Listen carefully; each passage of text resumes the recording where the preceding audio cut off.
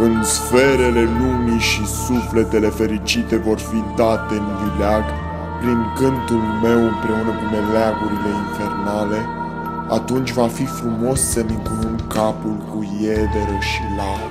V-ați întrebat vreodată dacă există infern sau paradis? Sau dacă există îngeri și demoni? Totul începe cu o luptă între bine și rău. De partea binelui este armata de îngeri a frumoasei Beatrice, iar de partea răului o întreagă legiune de demoni. Lupta se va da pe ambele fronturi, iar în purgatoriu vor rămâne doar cei care vor să o privească. Dante, sfătuit de Virgiliu, scălăuzește sufletele pierdute. Drumul lui Dante spre paradis nu va fi ușor și de aceea are alături de el 14 discipoli de căzuți.